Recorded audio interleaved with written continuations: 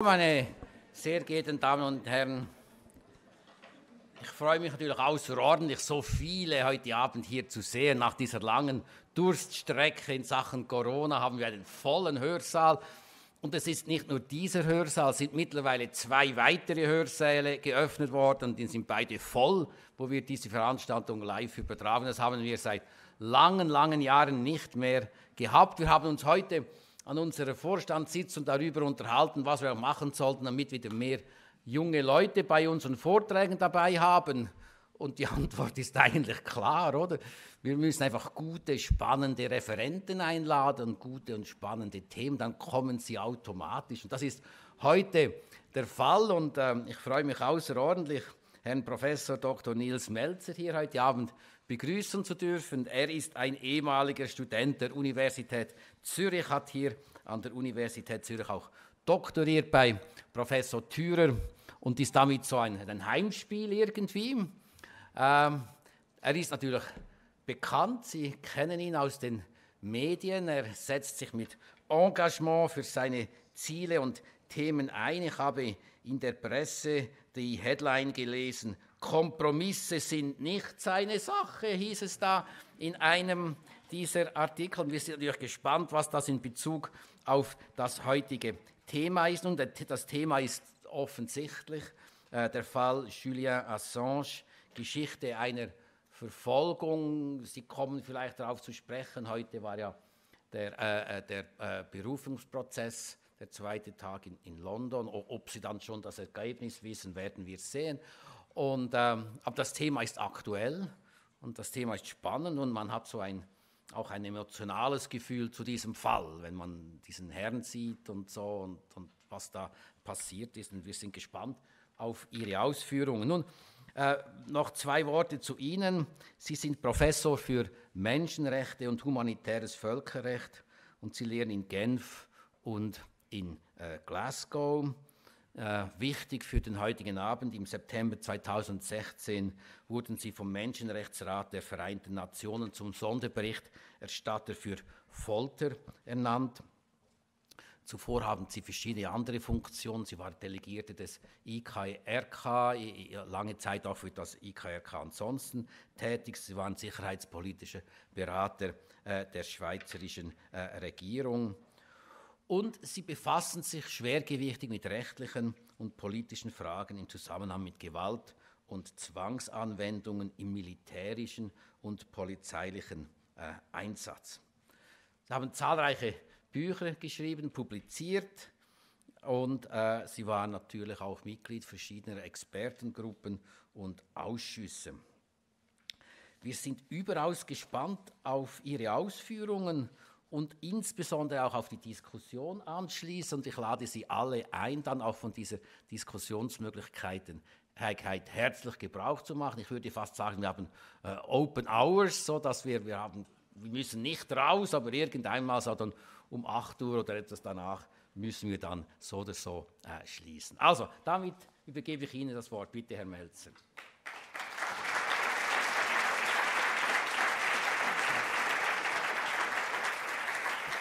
Hallo. Ja.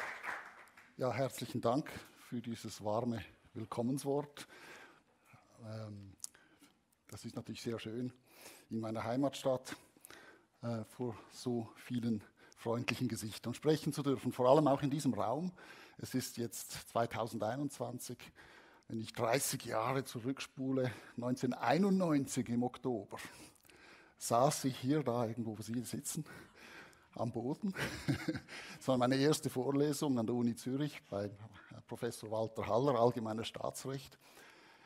Nachher erinnere ich mich nicht so richtig mehr so, was danach kam, aber da waren dann 2011 war ich wieder in diesem Raum, äh, hielt ich einen Vortrag äh, zu Targeted Killing. Das war meine DIS, die ich bei Thürer geschrieben hatte, bei Professor Thürer an der Uni. Und ich hatte gerade das IKK verlassen und war für zwei Jahre hier am Menschenrechtskompetenzzentrum bei Christine Kaufmann ähm, und arbeitete vor allem zum Thema private Sicherheitsfirmen und so weiter. Also dieser Raum hat für mich eine gewisse Geschichte und äh, es ist schön hier zu sein.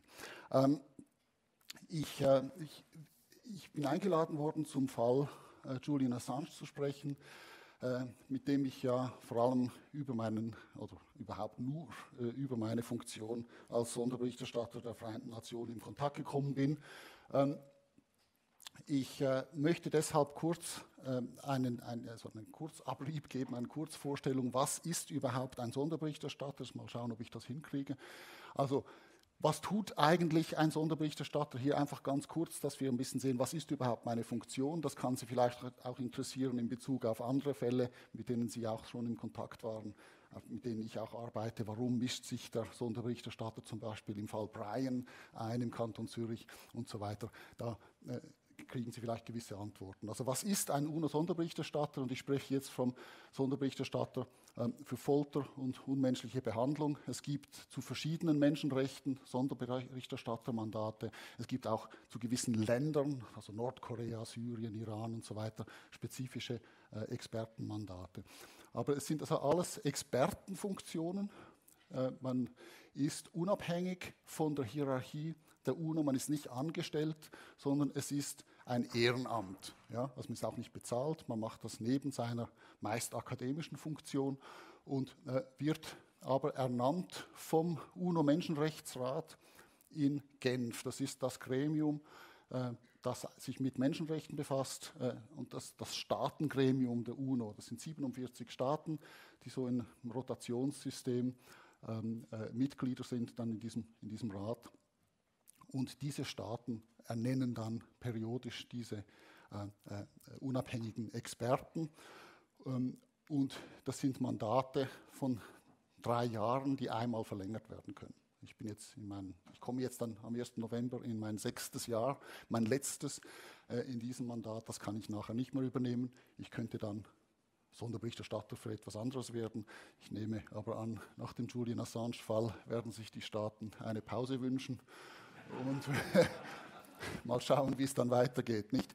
Ich habe zwei äh, Mitarbeiter, Mitarbeiterinnen von der UNO, die mir zur Verfügung gestellt sind. Die sind einquartiert beim Hochkommissariat für Menschenrechte. Das ist der schöne Palais Wilson ähm, ähm, am, am Genfersee.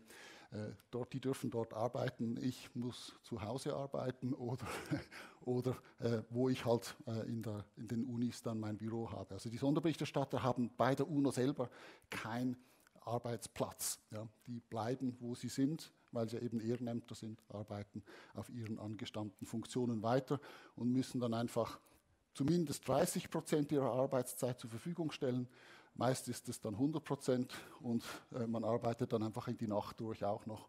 Aber das ist so. Und in meinem Fall äh, geht es darum, dass ich die Einhaltung des Folter- und Misshandlungsverbotes weltweit äh, überwachen soll.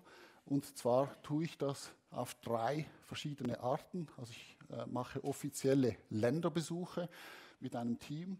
Äh, da nehme ich dann auch noch einen, einen Forensiker mit, einen Arzt. Ähm, und äh, evaluiere dann das Gefängnissystem, besuche äh, Polizeistationen, Geheimdienstgefängnisse, Militärgefängnisse, überall, wo Menschen Freiheits, ihrer Freiheit entzogen, äh, beraubt werden können. Das können auch Psychiatrien sein, äh, äh, Waisenhäuser und so weiter.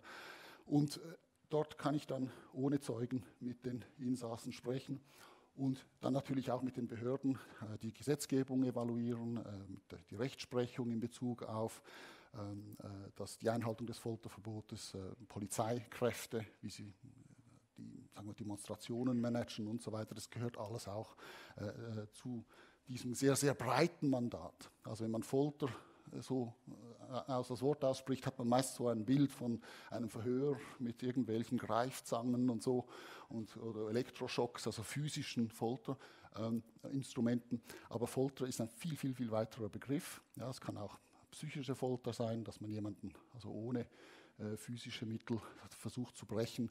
Und es ist ja auch nicht nur das Folterverbot, sondern das Verbot von Folter und Misshandlungen. Also es sind also andere, das heißt Folter und andere, auf Deutsch grausame, unmenschliche und entwürdigende Behandlung oder Bestrafung. Das ist sehr, sehr, sehr breit.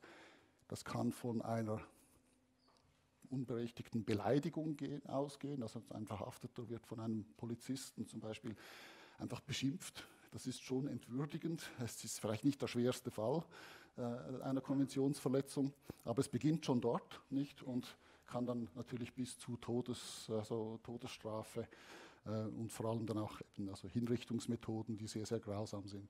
Äh, Gibt es da eine ganz große Palette. Und das ist alles abgedeckt von diesem Mandat. Und also ich mache diese Länderbesuche und berichte dann, dann auch meine Erkenntnisse dem Menschenrechtsrat. Und das, diese Berichte sind auch alle öffentlich zugänglich. Es gibt eine gewisse Karenzfrist, wo das Ganze vertraulich bleibt, so zwei Monate, wo man mit dem Staat das aushandeln kann, der vielleicht noch Änderungen einbringen kann. Aber nachher, und das ist ganz wichtig, das ist der Unterschied, sagen wir, zu meiner Funktion damals beim IKK, wo alles vertraulich blieb. Beim IKK sagt man, was man tut, aber nicht, was man sieht. Ja? Äh, und äh, hier meine inhaltlichen Berichte, die werden alle öffentlich gemacht.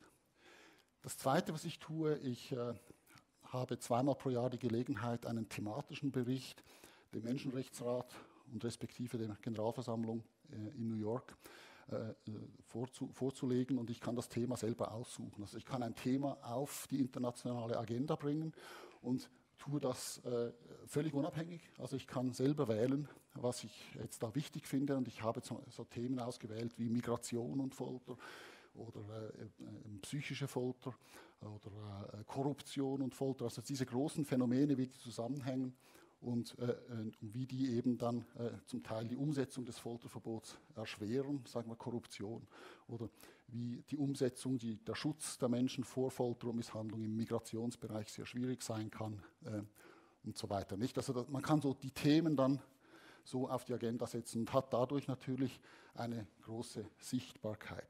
So, Länderbesuche, thematische Berichte und das, was uns heute wahrscheinlich am meisten interessiert, sind die Individualbeschwerden. Jedes Individuum, das der Folter ausgesetzt wurde oder in Gefahr läuft, der Folter ausgesetzt zu werden, ähm, kann sich bei mir melden. Ja, das ist nicht an ein gewisses Verfahren verbunden, äh, gebunden. Also man muss nicht alle Rechtsmittel ausgeschöpft haben oder eine Strafanzeige gemacht haben oder irgend so etwas, sondern man kann das völlig informell in jedem Stadium, auch wenn nur sagen wir, berechtigte Anzeichen bestehen, dass es zu Folter kommen könnte, wenn jemand bedroht wird, vom Geheimdienst äh, anonyme Anrufe bekommt oder so, nicht? Äh, in einem im entsprechenden Kontext kann das schon eine Intervention äh, äh, ähm, verlangen meinerseits. Und das kann nicht nur die betroffene Person mir zur Kenntnis bringen, sondern eigentlich jeder Zeuge, äh, jede Zeugin, die davon weiß, jede Privatperson. Normalerweise sind es Anwälte, Familienmitglieder ähm, oder sogar NGOs, die, sagen wir, in gewissen Gebieten gro also große Zahlen von, von Fällen sammeln und dokumentieren und mir das dann ähm, äh, unterbreiten. Und das wird dann von meinem Team gesichtet, konsolidiert, wenn Unklarheiten bestehen und wenn wir dann die Informationen beisammen haben, wird das zu mir geschickt und ich muss das dann evaluieren, ob ich intervenieren will oder nicht. Und damit Sie eine, eine Idee der Größenordnung haben, ich bekomme etwa 10 bis 15 Anfragen pro Arbeitstag und äh, kann eine im Schnitt etwa beantworten. Das gibt dann diese 100 bis 200 äh, Beschwerden pro Jahr, die ich umsetzen kann in eine äh, sogenannte Official Communication, also ein Urgent Appeal, wenn es dringend ist, oder ein sogenannter Allegation Letter, in dem einfach die Hinweise äh, übermittelt werden. Und was auch diese schreiben, haben nicht die Funktion, dass das jetzt gesicherte Beweise äh, unbedingt sind, sondern einfach glaubhafte Beweise, die äh, glaubhaft genug sind, dass sie besorgniserregend sind und deshalb eine Intervention rechtfertigen. Und das Ziel ist, dass die Regierungen jetzt diesen Fall untersuchen sollen. Also die eigenen Behörden einsetzen sollen, um das zu untersuchen und dann mir wieder Bericht zu erstatten, ja, eben, also die Fragen zu beantworten und allenfalls, äh, falls sich äh, eine Verletzung ergeben hat, dann natürlich auch äh, die entsprechenden Maßnahmen zu, zu, zu, ergreifen, also zum Schutz der Person, zur Kompensation, Entschädigung, aber auch zur Bestrafung der Verantwortlichen. Also es geht nicht darum, dass ich die Behörden ersetze, sondern ich, ich bin so ein Auslöser. Nicht? Also ich, ich, ich nehme die Informationen entgegen und habe so meine Trillerpfeife nicht und nachher muss das dann eigentlich vom Staat untersucht werden. Und da mich ja die Staaten selbst ernannt haben, können sie auch nicht gut sagen, ja, warum mischen sie sich ein? Nicht? Sie haben mich ja damit beauftragt, mich ein. Also wie wenn die Fußballteams bei einem Schiedsrichter, wenn der pfeift, sagen, was mischen sie sich in unser Spiel ein? Nicht? Das ist irgendwie nicht so ganz der Sinn. Also so, das ist so das Grundprinzip. Aber das heißt natürlich, dass ich sehr selektiv sein muss. Nicht? Ich, muss ich kann nur einen von zehn machen. Nicht? Und äh, der Unterschied zu gewissen Vertragsmechanismen, einfach um das noch klarzustellen, es gibt ja auch diese, diese Anti-Folter-Konvention der UNO, da gibt es einen Ausschuss, das Committee Against Torture, es gibt das Subcommittee, das macht auch so Länderbesuche, aber die sind natürlich beschränkt auf die Staaten, die diese äh, äh, Staatsverträge ratifiziert haben. Und das sind nicht immer die Staaten, die die Besuche am nötigsten haben. Nicht? Und dort habe ich äh, den, äh, den Nachteil, dass die Staaten mir gegenüber keine staatsvertraglichen Verpflichtungen haben.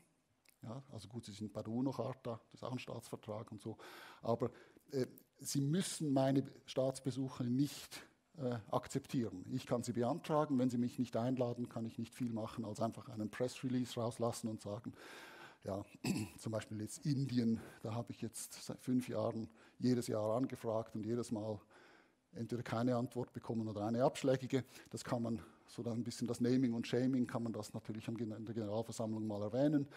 Ähm, aber also nicht um jetzt Indien zu isolieren, also China, Russland und so weiter, USA ist genau gleich. Einfach all die Staaten, die sich leisten können, mich nicht zu empfangen, tun das auch, also dass sie mich nicht empfangen. Ähm, und es sind dann meistens Staaten, die entweder äh, das in der Menschenrechtspolitik drin haben, also Staaten, die auch finanzielle Unterstützung oft brauchen von internationalen Organisationen und dann gewisse Human Rights Targets erreichen müssen, die laden mich dann ein. Also das ist so ein bisschen nicht ganz so idealistisch, wie man sich das vorstellt. Nicht? Ähm, also, aber da können wir dann auch noch drüber sprechen. Äh, ich könnte jetzt überall wieder ein Fenster öffnen und einen Vortrag dazu halten. Aber das einfach, um Ihnen ein bisschen so die Idee zu geben, wo so die, die Berührungspunkte sind und die Schwierigkeiten. Der Vorteil ist aber, weil es nicht weil mein Mandat nicht an einen Staatsvertrag gebunden ist, bin ich für alle UNO-Staaten zuständig. Also auch für die Staaten, die keinen Menschenrechtsvertrag unterzeichnet haben. Ich kann also und sogar aspirierende UNO-Mitgliedstaaten, also Kosovo zum Beispiel oder Palästina, könnte ich auch besuchen. Kosovo habe ich besucht. Ähm, ich habe sogar die Rebellengebiete besucht in, Ost, in der Ostukraine. Die haben das akzeptiert, weil sie sich als unabhängige Republiken verstehen und UNO-Mitgliedstaaten werden wollen und dachten, ja, dann können wir mal den Sonderberichterstatter empfangen. Und ich war dadurch dann der Einzige, der Zugang zu diesen Rebellengefängnissen bekam, wo sogar das IKK nicht rein konnte. Ist, aber wiederum, nicht aus idealistischen Gründen, sondern da war natürlich eine politische Agenda dabei, dieser Rebellengruppen nicht. Aber das könnte ein Vertragsmechanismus gar nicht tun. Die können nur die Staaten besuchen, die den Vertrag ratifiziert haben. Ich bin gleich am Schluss noch, einfach auch zu sagen, und das ist vielleicht wichtig, eben auch im Assange-Fall, es ist sehr individualisiert, diese Sonderberichterstattermandate. Ähm, das heißt, man ist wirklich unabhängig, man, man, darf keine Instruktionen entgegennehmen. Auch selbst der Generalsekretär der UNO oder die Hochkommissarin für Menschenrechte können mir keine Anweisungen geben, wie ich, mich, wie ich mein Mandat ausüben soll. Es gibt einen Verhaltenskodex, den ich einhalten muss und das ist dann auch schon alles gewesen. Also ich kann höchstens abgesetzt werden vom Menschenrechtsrat selber, von diesen 47 Staaten, aber sonst bin ich wirklich unabhängig und dadurch auch, weil das Team so klein ist, muss ich keine Hierarchien konsultieren und kann auch schnell reagieren. Nicht? Also ich kann innerhalb 24 Stunden reagieren, wenn jemand ausgeliefert werden soll, hingerichtet werden soll, bin ich meistens dann die letzte Adresse, die dann auch noch zum Einsatz kommt. Jetzt möchten wir aber nicht über mich sprechen, sondern über den Assange-Fall und wie ich auf den gekommen bin.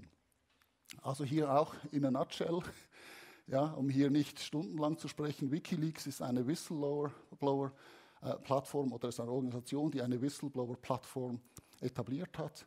Das Internet, also in 2006, 2007 so, äh, äh, etabliert worden ist. Und das Internet benutzt dazu, um Whistleblowern eine anonyme Plattform zu geben, Möglichkeit zu geben, wo sie geheime Informationen anonym äh, äh, übermitteln können, ohne selbst von Wikileaks erkannt zu werden. Also Wikileaks selber, die Organisation, weiß nicht, wer die Quellen sind, in den allermeisten Fällen, und äh, also bietet jedenfalls diese Möglichkeit an.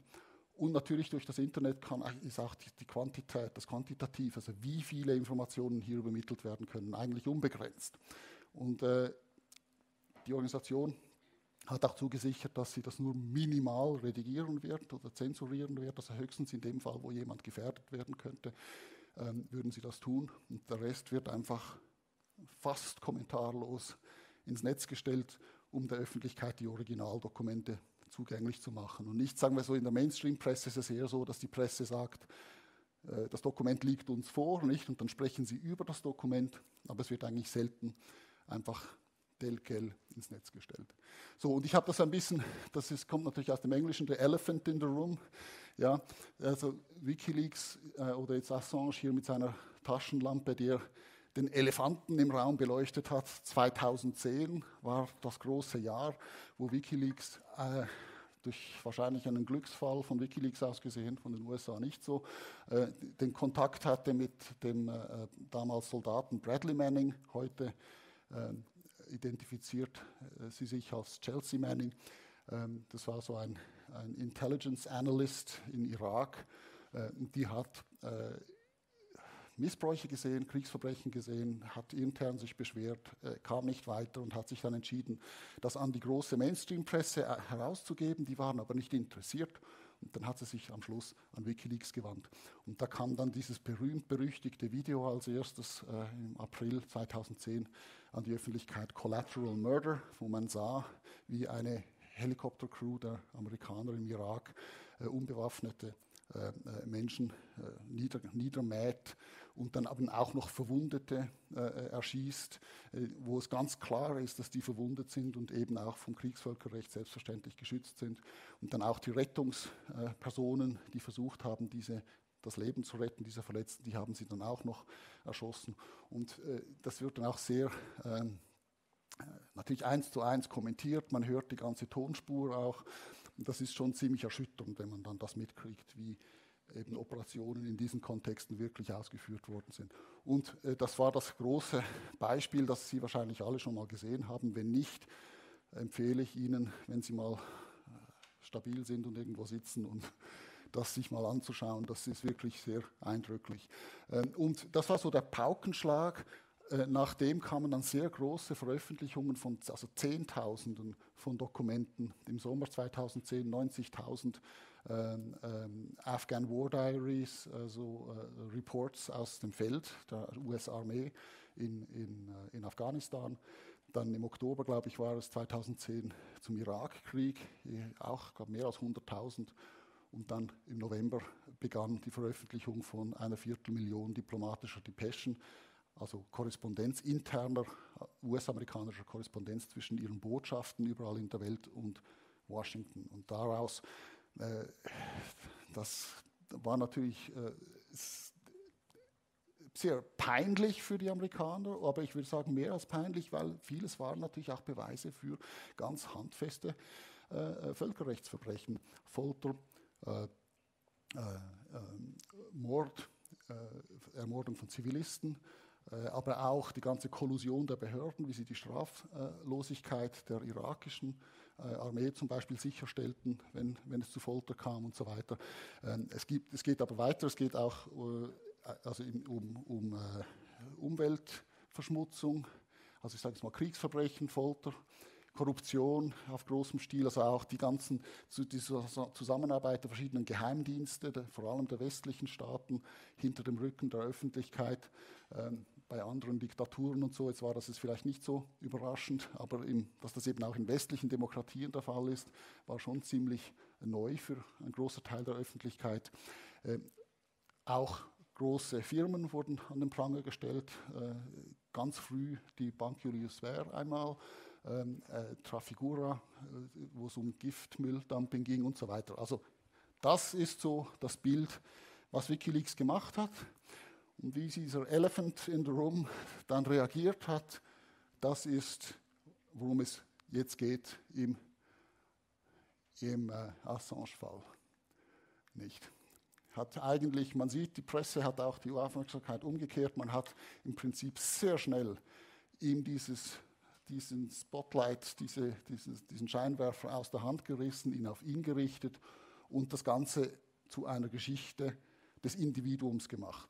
Ja, Assange, der Vergewaltiger, der sich der Gerechtigkeit entzieht, äh, Assange, der Hacker, der Spion, Assange, der hat Blut an den Händen, hat Menschen gefährdet, ist ein Egoman, ist ein Narziss, äh, fährt Rollbrett in der Botschaft, hat, füttert seine Katze nicht. Also das sind so die Geschichten, nicht? Und er hat einen hässlichen Bart und rasiert sich nicht und putzt seine Zähne nicht. Aber wirklich, das, das, das waren die Schlagzeilen. Ja? Sehr bald. Und das ist schon, und der, Elefant im Raum, der ist eigentlich verschwunden, nicht?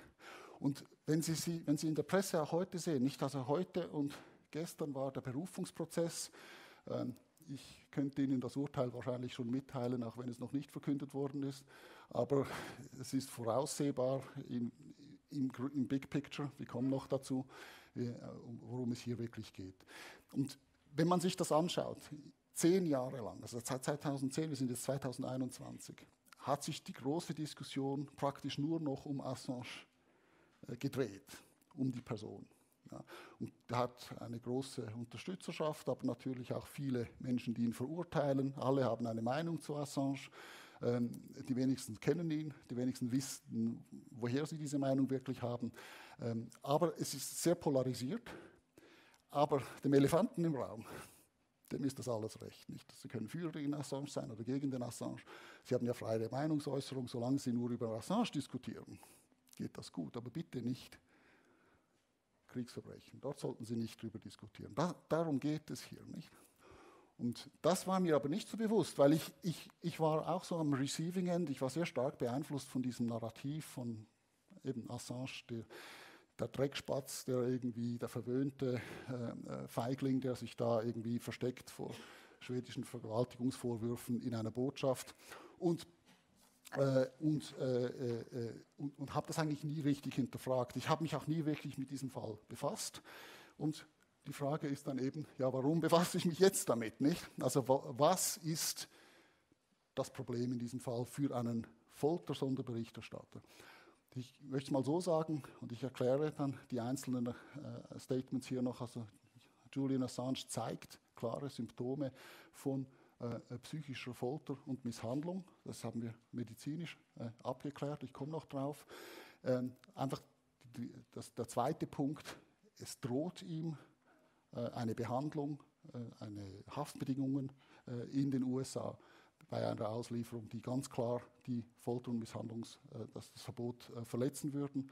Ähm, und er hat aber auch mit seiner Organisation Folter und Misshandlung enthüllt die wurden aber nicht, diese Verbrechen wurden nie äh, verfolgt, äh, nie bestraft. Und das ist natürlich alles relevant für mich, nicht? Also wenn ein Staat klare Hinweise für Folter bekommt und das nicht verfolgt, dann ist das eine Verletzung der Antifolterkonvention. Nicht? Und natürlich, wenn er jemanden ausliefert an einen, an einen, Staat, wo er gefoltert werden könnte oder misshandelt werden könnte, ist das auch eine Verletzung des Folterverbotes. Ähm, jetzt ist aber natürlich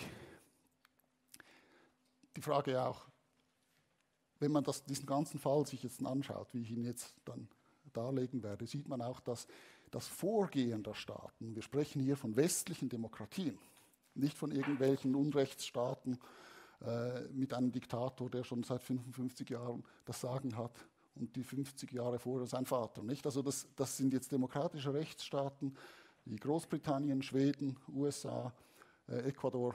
Das sind Klar, bei den USA haben wir einen machtpolitisch sehr äh, einflussreichen Staat. Da haben wir auch schon gesehen, dass nicht immer alles korrekt zu, zu und her geht. Aber doch, das Vorgehen in diesem Fall ist grotesk. Und ich werde das jetzt nachher dann äh, darlegen. Und bedroht aus meiner Sicht ganz fundamental nicht einfach den Assange als Person, sondern die Integrität unserer rechtsstaatlichen Institutionen. Und das ist natürlich schon ein Grund, wenn es um ein systemisches Problem geht, dass ich das wirklich dem Priorität gegeben habe. Das geht mir wirklich um das Systemische, vor allem in diesem Fall.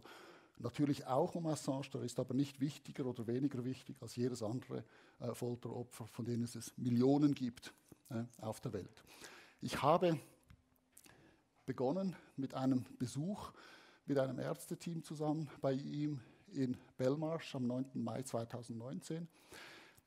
Ich war schon im Dezember 2018 kontaktiert worden von seinen Anwälten. Er war damals noch in der Botschaft, die kontaktierten mich Und ich weiß noch, ich schrieb da so einen, einen Bericht über Korruption und Folter und über politische Korruption auch, nicht? Und, und, und, und wie das äh, zu Folter führen kann. Und ich saß auf dem Bildschirm, kam so eine Message rein, die sagte, ja, äh, Assange äh, is asking for your protection. Und, ich, und ich, ich kann mich noch erinnern, ich hatte diese emotionale Reaktion, nein, der nicht. Ja, also dem, das ist doch eben dieser mit seiner schwarzen Lederjacke und den weißen Haaren da, der da, da irgendwie vor der Botschaft steht und das ist doch dieser Vergewaltiger, dieser Hacker, der möchte mich nur manipulieren, habe ich keine Zeit. Und habe das ignoriert. Ja? Und ein paar Tage später kamen ein paar Kollegen von mir, andere Sonderberichterstatter, ähm, äh, kamen mit einem Pressrelease heraus, wo sie die Briten aufgefordert haben, ihn aus der Botschaft zu lassen, ohne ihn zu verhaften und so. Und ich habe das irgendwie gar nicht so richtig mitbekommen. Mir, mir war das wirklich so ein bisschen, ging an mir vorbei. Im März 2019 kamen seine Anwälte nochmal zu mir und sagten, bitte schauen Sie sich das an. Jetzt, wir haben Gerüchte empfangen oder Informationen empfangen, dass er wirklich sehr bald äh, ausgewiesen werden soll aus dieser Botschaft. Wir befürchten, dass er in die USA ausgeliefert wird. Und sie schickten mir ein paar so Beweismittel mit, unter anderem ein Gutachten von einer bekannten Ärztin, in den USA, die aber keine Assange-Aktivistin ist, die Sondra Crosby. Das ist eine bekannte, äh, eine der ersten unabhängigen Ärztinnen, die Guantanamo besucht hat. Und die hat ihn in der Botschaft besucht und untersucht und hat, äh, kam zu einem wirklich vernichtenden Schluss in ihrem ärztlichen Gutachten, dass, äh, Assange, äh, dass die Behandlung von Assange der Antifolterkonvention widerspricht. Und dann dachte ich, aber das ist gut. Also wenn die zu dem Schluss kommt, dann sollte ich mir den Fall wahrscheinlich schon zumindest mal anschauen. Ja. Aber ich machte das wirklich ein bisschen mit Widerwillen. Ja. Es gab dann noch ein paar andere Beweisstücke zu, aber das war so der, der große Auslöser.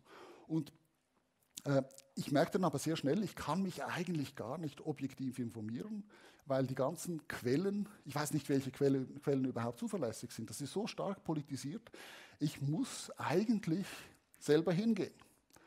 Ich muss hingehen, ich muss den besuchen und ich muss äh, zwei Ärzte mitnehmen, also mindestens einen. Ich, ich, ich, dann, ich war froh, konnte ich zwei mitnehmen, um ganz sicher zu sein, dass man mir nachher nicht einen Vorwurf mehr machen kann, ich, ich, ich, habe mich manipulieren lassen, ich habe mich politisieren lassen und so weiter.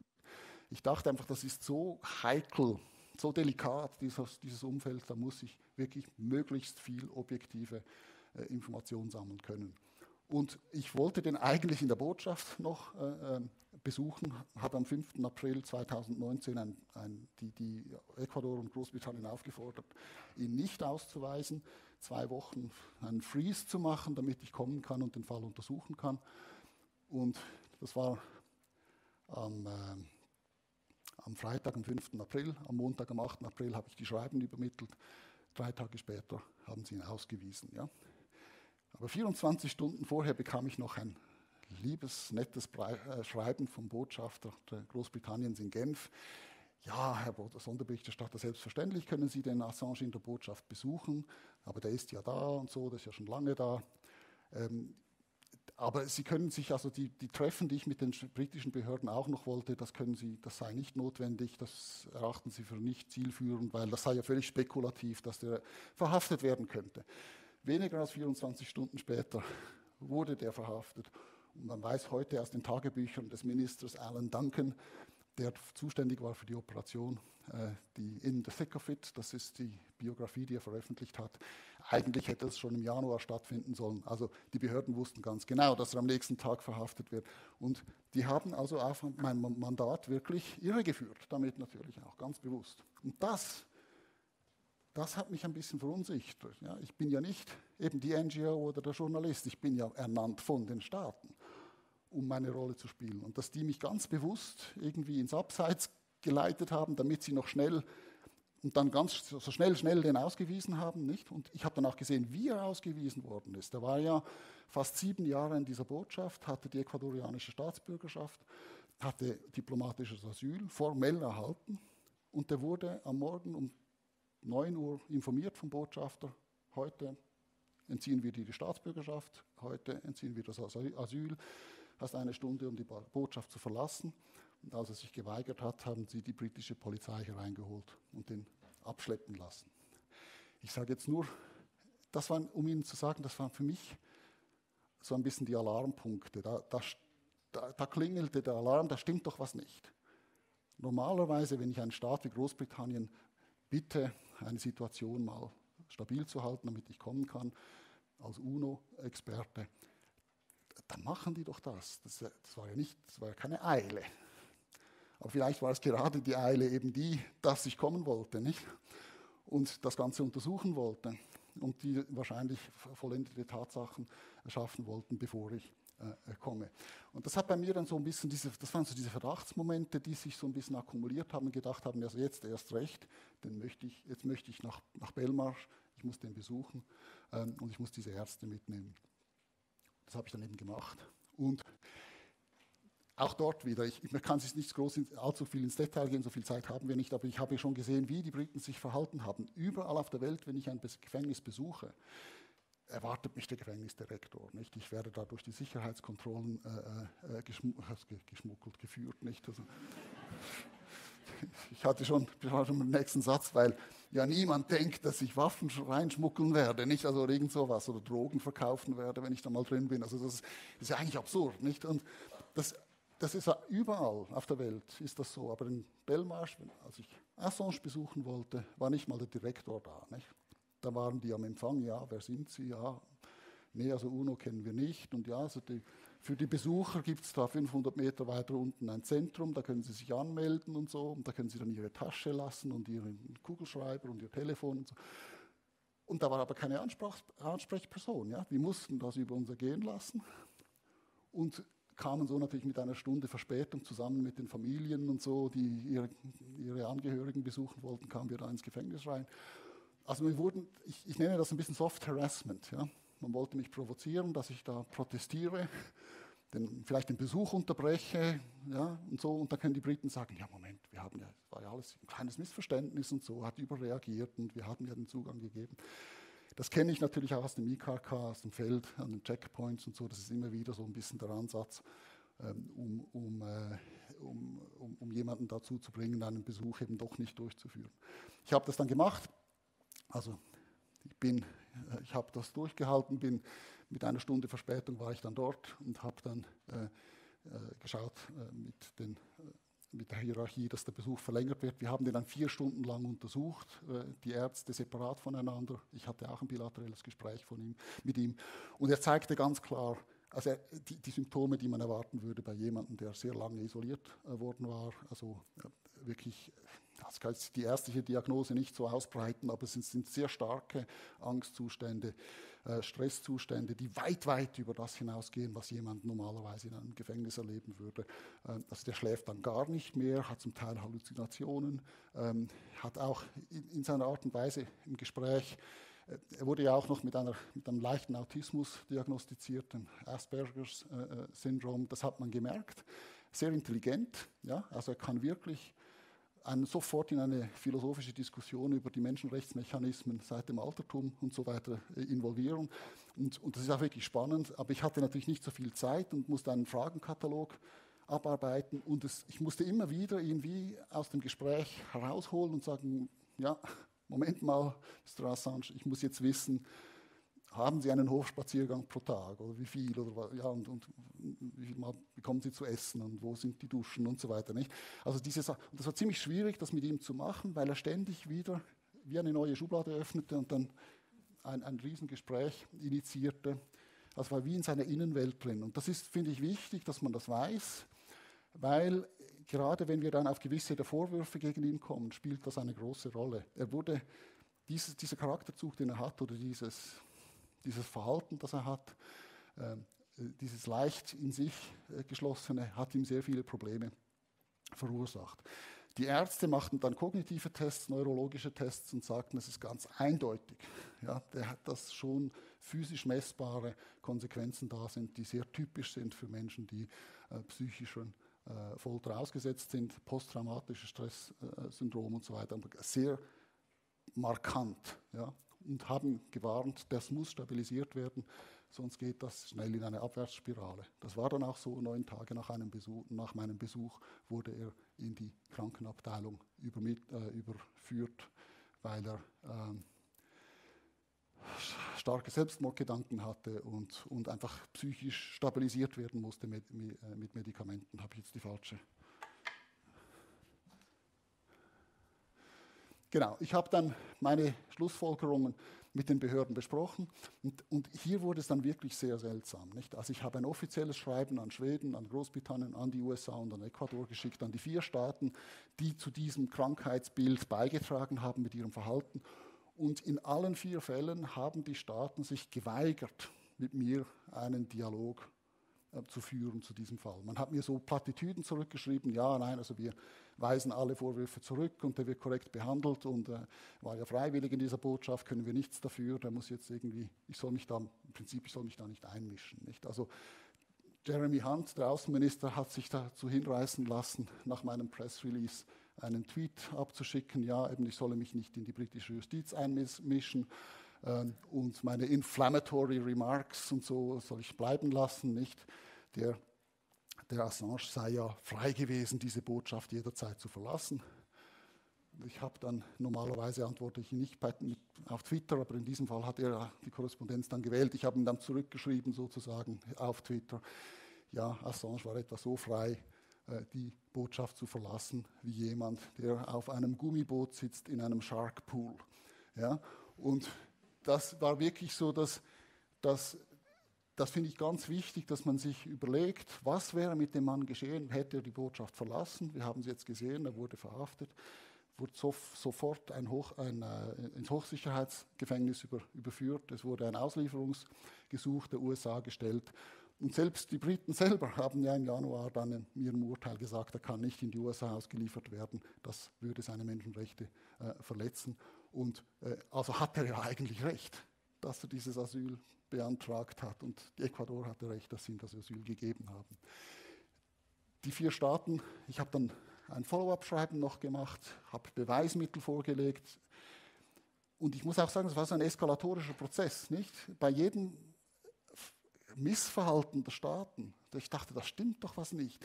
Also, warum können die mir nicht antworten? Warum kann ich nicht ein Meeting haben mit dem Botschafter der USA Großbritannien, Schweden und Ecuador und die Sache mal einfach besprechen. Warum geht das nicht? Warum, wenn ich in London bin, setzt man mich nicht mit dem Minister zusammen? Ja, ich, ich habe mein Ansprechpartner im diplomatischen Protokoll ist der Außenminister des UNO-Mitgliedstaats. Das ist immer das Eröffnungsgespräch, findet auf Ministerebene statt. Da kann man die politischen Fragen erörtern und dann kann man für die technischen Details dann mit den Verwaltungsleuten sprechen. Aber das hat man mir verweigert. In, den, in Großbritannien hat mich sofort nur mit den Verwaltungsleuten zusammengesetzt. Die können den Fall nicht lösen, die können mich nur informieren, welche Gesetze hier zur Anwendung kommen. Es, also ich möchte hiermit kurz sagen, die Behörden waren ganz klar nicht daran interessiert, eine Lösung zu finden. Die hatten schon eine Lösung und sie wollten, sie empfanden meine, mein Interesse hier als sehr beunruhigend, als störend und wollten das abstellen. Ich habe dann aber gesehen, wenn ich im Menschenrechtsrat und der Generalversammlung, als ich dort dann die Alarmklingel zog, waren die Reaktionen auch sehr verhalten. Es war immer so eine Wand des Schweigens. Man hat mir nicht gesagt, warum ich nicht recht habe mit meiner Evaluation. Man wollte einfach nicht drüber sprechen. Als ich mal in Berlin war, hat mich das Auswärtige Amt eingeladen, sie möchten mit, über den Fall Assange mit mir sprechen. Und dann dachte ich, ja, endlich! Deutschlands mächtiger Staat, wichtiger Partner der USA, Großbritanniens, Schweden sowieso nicht. Die, die wollen jetzt wahrscheinlich von mir die Informationen haben, damit sie dann hinter den Kulissen behilflich sein können. Ja, denkste, würde man sagen. Die, die haben mich eingeladen und dann als erstes, ja, Herr Sonderberichterstatter, also dieser Fall Assange, ist das wirklich in Ihrem Mandat? Gibt es da nicht wichtigere Fälle? Und so. Und dann, dachte, dann habe ich das erklärt. Ja, natürlich, es gibt immer wichtigere Fälle, nicht? es gibt immer schlimmere Fälle. Aber das Problem ist, es ist ein systemischer Fall. Ja? Es ist ein Testfall für, unsere, für die Integrität unserer Systeme. Und als ich dann erklärte, dass dem im Hochsicherheitsgefängnis Belmarsh der Zugang zu seinen Anwälten verweigert wird, und er hat es mit den USA zu tun auf der anderen Seite, die haben ja unbeschränkte Ressourcen dann haben die mich nur so betreten angeschaut und gesagt, ja, aber da waren doch auch noch diese schwedischen Vorwürfe und so. Und dann äh, habe ich gesagt, ja, die haben die Schweden jetzt gerade fallen gelassen aus Mangel von Beweisen. Und Und dann merkte ich, die, die, wollen, dann, die wollten meine, meine Dokumente auch nicht lesen. Die hatten keinen einzigen meiner Berichte gelesen. Die wollten mich einfach davon abbringen, mich mit diesem Fall zu befassen und fanden, das würde meine Glaubwürdigkeit äh, untergraben. Und so. Also das, das hat mich dann sehr, äh, sehr beunruhigt. Ich, es war unmöglich für mich mit der Hochkommissarin für Menschenrechte äh, selbst mit ihr ein, ein, Treffen, ein bilaterales Gespräch zu haben. Sie wollte das nicht, hat sich äh, dort immer entzogen. Und da sieht man, das ist wirklich so ein Pariah geworden, ein Paria, mit dem man sich nicht befassen will, wie wenn das ansteckend wäre, wenn man sich mit Assange befassen würde. Und daher dann jetzt meine Öffentlichkeitsarbeit. Ich sehe, ich nehme viel Zeit in Anspruch. Ich versuche da nicht ganz so durchzuhetzen, aber ich werde mich von jetzt an ein bisschen kürzer fassen. Das ist die Einführung, warum ich mich mit dem zu bewege. Ich dachte einfach, da ist so viel Rauch. Da ist, das kann nicht so ein kleines Feuer sein. Ja? Wenn, das hat, hat, sich immer wieder bestätigt in der Untersuchung von Kriegsverbrechen, Menschenrechtsverletzungen. Wenn sehr viel Rauch gemacht wird, dann ist meistens auch ein großes Feuer da. Nicht? Und dem wollte ich nachgehen. Das hat mich intrigiert. Und dort wollte ich, ich hatte mich da ein bisschen verbissen in diesem Fall. Ich wollte das nicht loslassen. Ich dachte, da muss ich jetzt meinen eigenen Scheinwerfer nehmen und das Ganze untersuchen und habe mich dann zuerst mal an Schweden gewandt, weil dort hat das Ganze begonnen. Nicht? Also wir haben die Veröffentlichungen in 2010, im Sommer 2010, das größte Leak der Militärgeschichte, äh, diese Afghanistan War Diaries, im Juli 2010. Zwei Wochen später ist Assange in Schweden und es ist ganz wichtig, dass man den Kontext versteht. Der war in Schweden für ein Seminar, ja, aber er ging eigentlich dorthin, weil er einen Sitzstaat suchte für Wikileaks. Und, und, Schweden hat sehr starke verfassungsmäßig, äh, also, äh, verfassungsrechtliche äh, Schutz für Pressefreiheit. Also wenn man ein anerkannter äh, äh, Publisher ist in, in, äh, in, in Schweden, ist es fast unmöglich, dass die Regierung dort und die Justiz eingreifen kann in den Publikationsprozess. Deshalb wollte Wikileaks dorthin. Nicht? Und die Schweden, die hatten, die Regierung wollten die natürlich nicht dort haben. Nicht?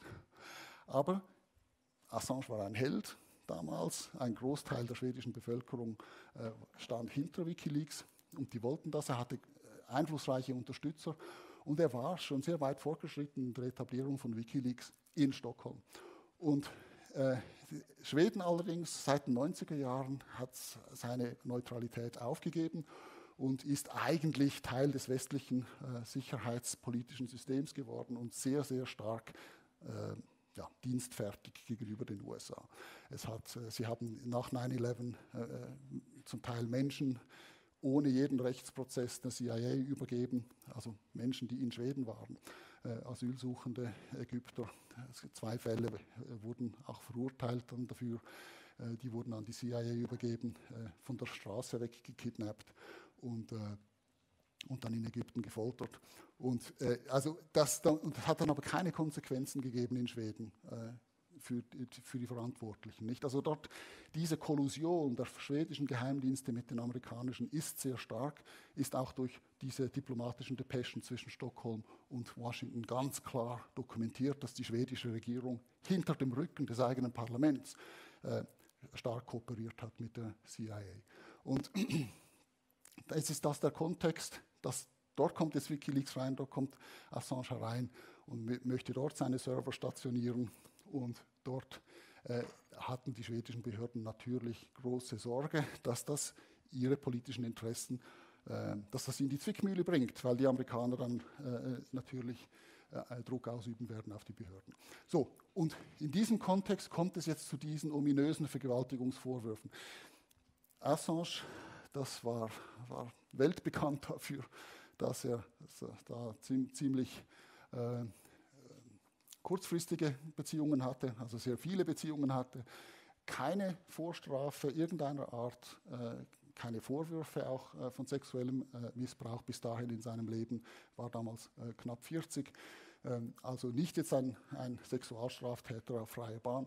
Und das war das erste Mal, dass ihm so etwas vorgeworfen worden war. Zwei, was man weiß, sagen wir, wenn ich da unter Facts and Fiction sage, es sind zwei Frauen, die hatten je freiwillig, also separat voneinander in der gleichen Woche Geschlechtsverkehr mit Julian Assange. Beide empfinden ihn damals, so sagen sie dann aus in der Polizei, als zwar unsensibel, aber nicht gewalttätig oder bedrohend. Und ich sage das, weil auch in meinem Gespräch mit ihm und dass ich viel von anderen gehört habe, die mit ihm gesprochen haben, dieses, dass er das, die Bedürfnisse des Gegenübers nicht wahrnimmt. Das ist so.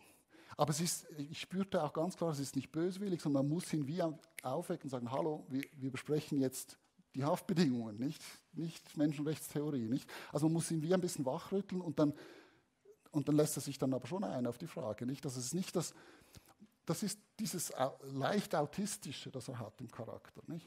Und ich finde das wichtig, weil wenn man diese ganzen Protokolle durchliest in diesem Vergewaltigungsverfahren, dann beide Frauen äh, sprechen genau diesen Aspekt an und ziehen dann ihre Schlüsse daraus. Nicht? In beiden Fällen kommt es dann zu unerwünscht, ungeschützten Geschlechtsverkehr. Und die beiden Frauen haben dann Angst vor Schwangerschaft und HIV. Äh, man sieht aber in den Text-Messages, den SMS, die die zwei Frauen ausgetauscht haben, ich kann die lesen, meine Mutter ist Schwedin selber, also ich kann Schwedisch. Äh, das war ein großer Vorteil hier, dass ich diese Sachen lesen konnte, dass sie beide, dass sie Angst hatten vor HIV und äh, allenfalls eben von einer Schwangerschaft noch, aber nicht äh, von äh, einer Straftat sprachen oder so etwas selber. Sie gehen dann zur Polizei und möchten ihn dazu bringen, einen HIV-Test zu machen. Zuerst rufen sie ihn an, macht doch einen HIV-Test, dann müssen wir da nicht drei Monate warten, bis wir die Resultate haben. Und er sagt, ja, habe ich keine Zeit und so, ich muss jetzt da Menschen retten in Guantanamo und so weiter. Also nicht gerade sehr sensibel, nicht eben. Und merkt auch nicht, wie wichtig das für die Frauen ist. Und die gehen dann zur Polizei und möchten Rat, wie sie ihn dazu zwingen können, einen HIV-Test zu machen. Und das ist dokumentiert, dass es darum geht. Ja? Und was dann geschieht, ist, Ach, vielleicht noch, ich, ich, sage hier, dass in beiden Fällen der Tathergang und der schuldhafte Vorsatz zweifelhaft und forensisch unmöglich zu beweisen ist. Ich, ich, ich mache es jetzt nicht grafisch, aber es ist doch wichtig, dass man es kurz sagt. Im einen Fall geht es darum, dass die, die eine Frau sagt, es sei das Kondom, das sie benutzt haben, sei kaputt gegangen und er habe das, sie vermute, dass er es absichtlich kaputt gemacht hat. Er, er streitet das ab, er sagt, er, er, wisse gar nicht, dass es überhaupt kaputt gegangen sei. So. Äh, sie sagt aber, sie sagt, sie habe es nicht gesehen. Sie, sie, denkt einfach aus der mangelnden Sensibilität heraus und weil er eigentlich lieber ungeschützten Verkehr gehabt hätte, dass er es eben wahrscheinlich absichtlich kaputt gemacht hat. Das ist aber das, mehr Beweise gibt es nicht. Ja. Und die zweite da gab es mehrmals es zum Kontakt während der Nacht, geschützt und dann schlafen die beiden ein und sie wacht dann auf, weil er wieder versucht, sich ihr anzunähern und fragt dann, ja, trägst du was? Und er sagt, nein. Also er sagt dich, aber also eben nichts. Und sie sagt, ja, ich hoffe, du hast kein HIV. Und er sagt, natürlich nicht. Und dann lässt sie ihn gewähren. So. Und die schwedischen Behörden machen aus diesen zwei Tathergängen und Beschreibungen dann Vergewaltigungsvorwürfen sagen, ja, im einen Fall sei das das sogenannte Stealthing. Er habe, das ist natürlich ein Verbrechen, wenn er das tatsächlich gemacht hat. Aber es ist ziemlich klar, dass wenn er das abstreitet, das werden Sie nie beweisen können. Also wenn Staatsanwälte da sitzen, können Sie mir das gern, mich gern korrigieren. Aber ein Kondom kann kaputt gehen. Es ist, es war gerissen. Ob er das absichtlich kaputt gerissen hat oder nicht, äh, ist eigentlich nicht zu beweisen, vor allem wenn er keinen, keine Vorgeschichte hat und, und nicht geständig ist. Nicht? Und, und der, der, andere Fall, hat die Frau geschlafen in dem Moment, wo er, sich an, wo er sie ja, halt berührt hat, äh, intim, oder war sie wach und konnte Nein sagen? Äh, das können Sie im Nachhinein nicht mehr nachweisen. Es ist einfach nicht möglich. Und ich sage jetzt nicht, er ist unschuldig. Ich sage einfach, strafrechtlich ist das nicht auf, zu arbeiten. Das können sie gar nicht. In beiden Fällen. Und das war, das finde ich ganz wichtig, weil das eigentlich von Anfang an klar war, dass man das nicht wird beweisen können. Und die schwedischen Behörden haben das sich dann auch entsprechend verhalten. Sie haben sofort das der Presse gemeldet, also sofort Strafanzeigen, sobald, sobald die Frauen bei ihnen waren, haben sie Strafanzeigen registriert für, Gewaltigung, für Vergewaltigung. Das Interessanteste ist, wenn Sie die Timelines anschauen, das Verhör beginnt um 16.21 Uhr mit der Frau. und die Strafanzeige ist registriert um 16.11 Uhr. Also die Polizistin, die die Frau einvernimmt und die Frau vorher nicht gekannt hat, registriert eine Strafanzeige für Gewaltigung zehn Minuten bevor sie beginnt, mit der Frau zu sprechen. Im gleichen Computer. Das ist nicht handschriftlich ein Schreibfehler. Nicht? Und als die Frau in die Polizei hereinkam, zwei Stunden vorher, um einen Termin zu vereinbaren für 16 Uhr, um 14 Uhr kam sie herein, um 14.26 Uhr schreibt sie eine SMS an eine Freundin. Ja, ich war da drin, ich habe einen Termin gemacht, damit wir dann besprechen können, wie wir den Assange zum HIV-Test zwingen können. The, die Polizei, the police seems to like the idea of getting their hands on him. Ja, also sie mögen die, die Vorstellung, dass sie den in die Finger kriegen. Ja, woher kommt das? Was, was, was, woher kommt diese Reaktion der Polizei, dass sie den in die Finger kriegen wollen? Nicht? Und das geht dann sehr, sehr schnell so weiter. In Schweden ist, im schwedischen Recht ist es verboten, Details über die Involvierten in einem Strafverfahren an die Öffentlichkeit zu geben, bis es zur, an, bis es zur Anklage kommt. Ja, also im Vorverfahren ist das verboten. Sofort, innerhalb vier Stunden war das in der, in der Weltpresse hat die Staatsanwältin das weitergegeben an die, an die Presse, dass Assange gesucht wird wegen doppelter Vergewaltigung. Nicht? Und das, das, dieser ganz schnelle Eskalationsprozess, der wurde gepusht von den Behörden, um ganz klar das, dieses Narrativ zu etablieren. Und die Frauen waren stark verunsichert. Das, sie haben dann später sich diesem Narrativ angepasst, wahrscheinlich unter dem Druck, was verständlich ist. Äh, die waren exponiert, äh, verfolgt von der Öffentlichkeit jetzt. Aber man sieht in den ersten Stunden, dass sie extrem gestresst sind. Also ich sage jetzt das mal ganz ungeschminkt, Sie sprechen von scheiß Polizei, das war doch nicht so vereinbart, wir wollten die gar nicht anzeigen, wir wollten doch noch einen HIV-Test. Ähm, die Polizei hat das alles angefangen, aber jetzt habe ich keine Wahl und so. Also das sind so die Zitate. Ich habe die in meinem Buch wirklich herauszitiert. Diese SMS wurden von der Staatsanwaltschaft geheim gehalten. Bis 2019. Wurden unterdrückt, wurden dem, selbst dem Gericht nicht zugänglich gemacht.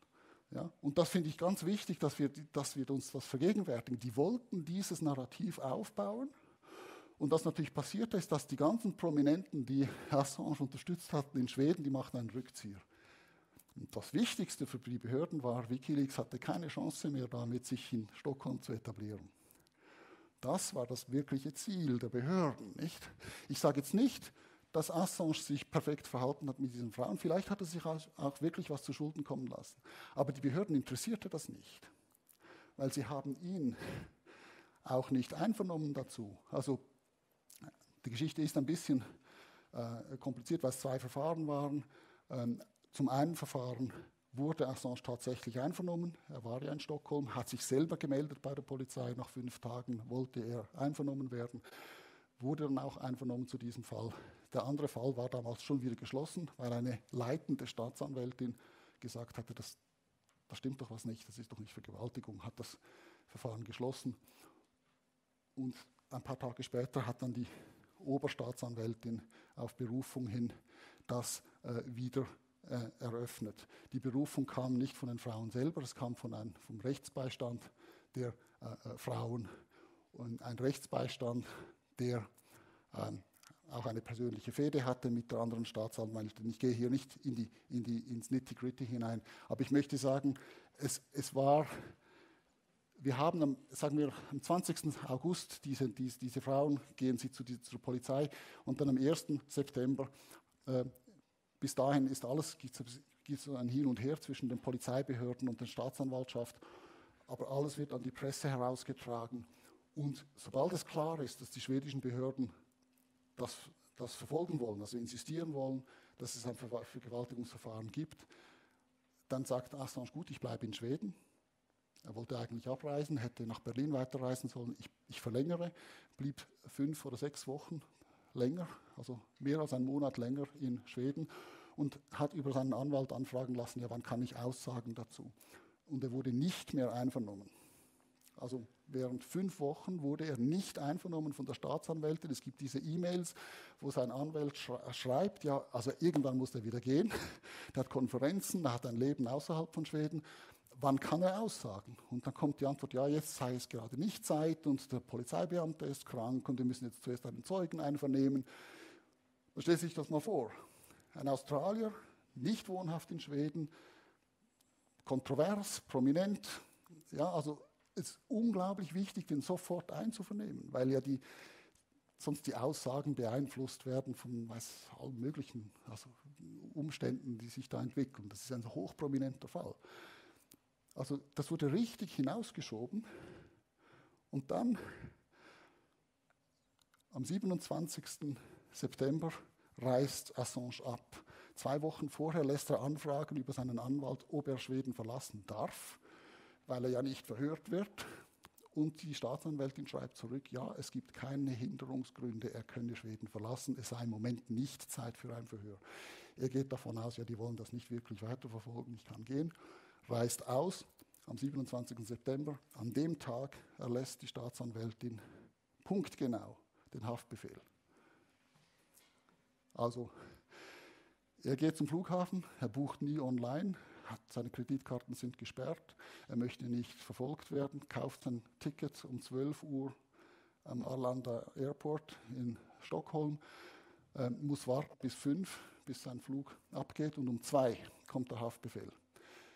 Am nächsten Tag hätte er ein Verhör gehabt, aber das wusste er nicht. Also das wurde angesetzt mit seinem Anwalt zusammen, aber das ist nachgewiesen, dass der Anwalt ihn nicht erreichen konnte, weil sein Telefon gesperrt worden war, wie seine Kreditkarten auch. Und reiste dann ab im Wissen, dass er reisen darf. Und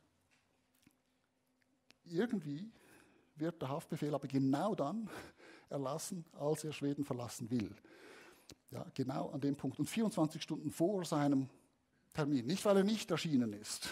Das könnte man sich ja noch irgendwie nachvollziehen. Nicht? Und dann sagt die, die, die äh, Staatsanwältin Haftbefehl wegen Flucht. Ja. Er wird aber nicht verhaftet an der Grenze. Er, wird, er fliegt nach Berlin, aber sein Gepäck verschwindet.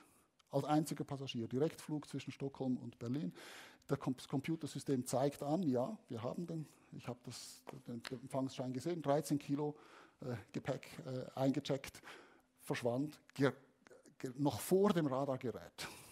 Das kann man heute nachvollziehen, nicht? In Schweden verschwunden, noch vor dem Radargerät. Und nicht wieder aufgetaucht bis heute. Die Behörden wussten natürlich, dass er geht, sonst hätten sie das nicht beschlagnahmen können. Die wussten natürlich auch, dass er äh, zur Haft ausgeschrieben ist, aber sie wollten ihn ja nicht verhaften, sonst hätte er ja dann aussagen können. Dann hätte man gemerkt, ja, das kann man ja gar nicht beweisen. Und dann hätte er vielleicht Wikileaks doch noch etablieren können. Also war es viel attraktiver, den ausreisen zu lassen und einen Haftbefehl zu erlassen, sein Gepäck aber zu beschlagnahmen, weil dort waren die Laptops drin, die man ja, die einen ja interessierten, nicht? Äh, und, und äh, dort möchte ich auch sagen, es war klar aus der E-Mail-Korrespondenz von Assange mit gewissen Journalisten, die nicht encrypted waren, also die, die man als Geheimdienst gut lesen konnte, mitlesen konnte, dass er dann nach Berlin kommt und dass er Beweise mitbringt für weitere Kriegsverbrechen. Äh, das, das war dann so ein bisschen der Kontext. Von Berlin geht er weiter nach London. Da gibt es dann ein langatmiges Auslieferungsverfahren nach Schweden. Äh, London hat ähm, ein Abkommen mit Schweden, ein Rechtshilfeabkommen, ähm, wonach man äh, über Telefon, Videolink äh, interviewt werden kann. Man kann auch, die Staatsanwaltschaft Schwedens kann nach äh, London, London kommen und jemanden einzuvernehmen. Er ist ja nicht angeklagt. Er ist nur im Moment ein Verdächtigter in einem Vorverfahren. In 44 anderen Verfahren gleichzeitig machten die Engländer und die Schweden das so. Bei Assange wurde das ihm verweigert. Er müsse nach Schweden kommen. Ja. Und damals wurde auch bekannt, dass die USA eine Grand Jury hatte, äh, schon ein Spionageanklageverfahren initiiert hatte. Und da hatte Assange ein bisschen Angst, dass er da über Schweden in die USA ausgeliefert werden sollte und sagte, ich komme nach Schweden, ich möchte von euch nur eine Garantie, dass ihr mich nicht in die USA schickt. Ja, ich weiß aus dem Außendepartement selber noch, das ist gang und gäbe, dass man solche Garantien macht. Bei Nawalny hätte man das selbstverständlich gemacht, nicht? Dass man Khashoggi oder so, nicht? Dass man die dann nicht äh, nach, nach Russland oder so weiter weiter ausliefert. Bei Assange sagt man, ja, das können wir nicht als Rechtsstaat, das muss ein Gericht entscheiden. Das kann die Regierung selbstverständlich keine solche Garantien geben. Wir wissen aber alle, dass jede Regierung der Welt ein politisches Prärogativ hat, jemanden nicht auszuliefern, selbst wenn die Gerichte das tun. Also Assange hatte einen Grund, nicht nach Schweden zu gehen. Und es war nicht das Vergewaltigungsverfahren, es war, dass er befürchtete, äh, an die USA ausgeliefert zu werden. Und so. Aber wir sehen einfach die, die, ganz klar das Narrativ, das verbreitet wird durch die Massenmedien. Wir sehen auch Manipulation, Unterdrückung von Beweisen. Ich habe von den SMS gesprochen.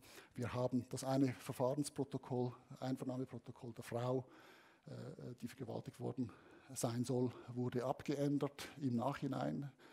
Sie war so gestresst, als sie hörte, dass Assange angeklagt werden soll, dass sie das Protokoll nicht unterzeichnet hat. Das wurde im Nachhinein abgeändert von der Polizei. Die interne Korrespondenz habe ich gelesen. Ähm, äh, und, äh, und sie wurde nachher dazu gebracht, sich dem, dem anzuschließen. Äh, es wurden eben seine Gegenstände, Laptops beschlagnahmt, ohne rechtsstaatliches Verfahren. Äh, Zeugenaussagen wurden allesamt, die gegen ihn verwendet wurden. Kein einziger Zeuge wurde wortwörtlich zitiert. Alles waren Zusammenfassungen von Polizeibeamten. Alles Telefonverhöre oder persönliche Verhöre ohne, andere, ohne Zeugen, ohne Tonbandaufnahme, ohne Wortprotokoll. Nur das, äh, die Einvernahme von Assange und zwei Journalisten, die ihn tendenziell unterstützten, die wurden mit Tonband gemacht weil sie sich sonst geweigert hätten, auszusagen. Alle anderen Aussagen wurden von der Polizei in den Worten der Polizei, des untersuchenden Polizeibeamten formuliert. Und natürlich so kann man nicht sehen, ob es Suggestivfragen gab und so weiter nicht. Also man, man sieht ganz klar, dass die Behörden eine Agenda hatten in diesem Fall und haben dann eben das Verfahren verschleppt, um dieses Narrativ aufrechterhalten zu können, weil es sehr öffentlichkeitswirksam ist. Nicht? Wenn jemand der Vergewaltigung verdächtigt ist, dann möchte niemand mehr mit ihm zu tun haben. Und keiner mehr spricht über Afghanistan und Irak und die Morde und so weiter. So. Die Kollusion in zwei, drei Sätzen geht dann weiter. Wir haben Korrespondenz zwischen den Briten und den Schweden, wo die Briten ganz eindeutig die Schweden davon ab, abhalten möchten, dieses Verfahren auch ja nicht einzustellen oder abzukürzen als die Schweden irgendwann von ihrem eigenen Verfassungsgericht dazu aufgerufen werden, ja, klagt den endlich mal an oder geht den mal endlich befragen in, in London, möchten sie das Verfahren einstellen und die Briten schreiben zurück, don't you get cold feet. Ja? Das, also wirklich, warum? Also kriegt keine kalten Füße. Hört ja, ja nicht auf, ja nicht einstellen. Was ist das Interesse der Briten? Es geht um schwedische Frauen, es soll in Schweden geschehen sein. Das hat doch mit den Briten nichts zu tun. Das ist eben, weil die eigentliche Geschichte viel, viel, viel größer ist. Nicht? So. Auch als er Asyl sucht in der Botschaft Ecuadors, Assange, der Außenminister William Hague droht Ecuador an, wir werden die Botschaft stürmen, um einen Verdächtigten einzuvernehmen, weil er vielleicht zwei Sexualvergehen begangen haben könnte. Aber angeklagt ist er nicht. Man stürmt keine Botschaft für sowas. Ja, man soll den einvernehmen, einverstanden. Nicht? Es gibt ein Rechtshilfeabkommen und so weiter. Man stürmt eine Botschaft wegen Terrorgefahr, wegen Geiselnahmen, wegen ganz klaren großen Gefährdungen der nationalen Sicherheit. Als das wird er wahrgenommen, nicht so, wenn man diese Zeichen liest. So, und ich, gehe jetzt, ich, ich überspringe jetzt das Auslieferungsverfahren nach Schweden. Äh, man sieht, das schwedische Verfahren wird dann eingestellt, sobald er verhaftet wurde von den Briten 2019. Und jetzt wäre er ja eigentlich erhältlich gewesen. Man hätte ihn jetzt wieder nach Schweden ausliefern können. Das Vergewaltigungsverfahren verjährte erst 16 Monate später. Dann haben die Schweden nach wenigen Monaten das Verfahren eingestellt und zwar aus Beweismangel, weil sie nicht mal genügend Beweise hatten, um, ihn, äh, um eine neue Auslieferung zu verlangen. Ja. Ähm, das ist also, und das ist dokumentiert auch im e im e in der E-Mail-Korrespondenz der schwedischen Behörden, wo die, die neue Staatsanwältin, die das übernommen hatte, sagt, ja, im Prinzip, wir haben ja nicht mal genügend Beweise, um eine Befragung des Mannes zu rechtfertigen in London. Nicht? Also ziemlich eindeutig. Gut, Ecuador, das kann ich wirklich ganz Fünf Minuten. Ja, genau. Ecuador erteilt ihm Asyl 2012, gibt einen Machtwechsel zwischen Präsident Correa und Moreno. Moreno möchte Normalisierung mit den USA. Die USA verlangt schriftlich ähm, im Oktober 2018 die Überstellung von Assange als Bedingung für die Normalisierung der internationalen Beziehungen. Und so geschieht es natürlich dann auch 2017, 2018 versucht Ecuador Assange aus der Botschaft heraus zu ekeln mit konstanter Überwachung, Drangsalierung äh, und Diffamierung in der Öffentlichkeit. Ähm, man hat, also warum wurde er mit diesem Bart äh, äh, verhaftet? Nicht, es wurden ihm drei Monate vor seiner Verhaftung wurde ihm das Rasierzeug weggenommen. Also es ging bis in diesen Bereich, dass man auch sein öffentliches Aussehen dann äh, so äh, manipuliert hat. Und dann wurde er eben, wie ich schon gesagt habe, am 11. April dann summarisch einfach ausgebürgert, ausgewiesen und, und den, äh, den äh, Briten überstellt. Äh, mit der Bedingung, äh, mit der Begründung, er habe irgendein Verhaltensprotokoll verletzt und so.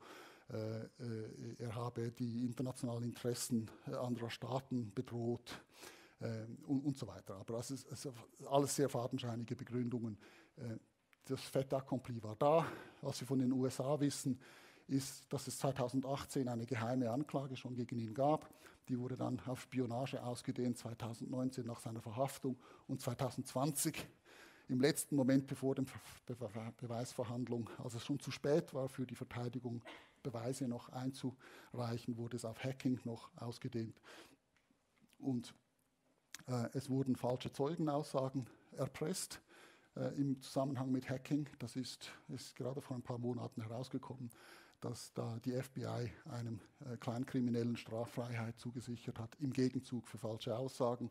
Äh, Chelsea Manning wurde äh, in Beugehaft genommen über, über ein Jahr, damit sie gegen Assange aussagt und hat, das hat an einem Selbstmordversuch geendet. Danach hat man sie dann freigelassen. Ähm, äh, systematische Überwachung in der Botschaft durch die Sicherheitsfirma, die von den Ecuadorianern angestellt worden war. Die haben hinter dem Rücken für die CIA gearbeitet. Es gab Mikrofone sogar in der Damentoilette. Ähm, dass es dort um die nationale Sicherheit von Ecuador ging, glaube ich, ist wahrscheinlich äh, widerlegt. Ähm, also eindeutig, es wurden Arztgespräche, Anwaltsgespräche wurden aufgenommen und den Amerikanern direkt übermittelt. Ähm, auch als er verhaftet wurden, wurden alle seine äh, Habseligkeiten den Amerikanern übergeben, ohne jedes äh, rechtsstaatliche Verfahren. Und äh, wir haben jetzt, das wissen wir seit diesem Yahoo-Artikel vom 26. September dieses Jahr, äh, haben die CIA-Agenten unter Trump sogar bestätigt, die, dass äh, sogar Vorbereitungen für Kidnapping, Rendition und sogar Vergiftung von Assange stattgefunden haben, nachdem er im 2017 eben auch geheime Dokumente der CIA veröffentlicht hatte. So, ähm, britische, äh, das britische Verfahren, alle Verfahren in Großbritannien seit seiner Verhaftung sind ganz klar willkürlich. Und ich sage das also als jemand, der an der britischen Uni äh, unterrichtet äh, hat die letzten vier Jahre, äh, hat mich sehr äh, äh, erschüttert. Wir haben befangene Richter, also die Richterin, die über sein Auslieferungsverfahren präsidiert hat, ihr Mann wurde von Wikileaks in 35 Fallen exponiert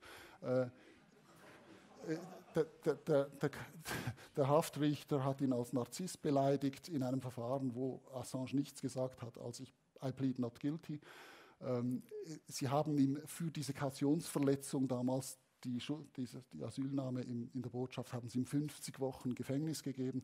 Das gibt es nicht für eine Kautionsverletzung in, in Großbritannien und schon gar nicht in einem Hochsicherheitsgefängnis. Es war klar, und das wissen wir auch aus der Korrespondenz zwischen USA, äh, Großbritannien. Es ging darum, ihn jetzt mal festzuhalten, damit, um den Amerikanern Zeit zu geben, ihr Auslieferungsverfahren in Gang zu bringen. Und das war, wurde einfach instrumentalisiert.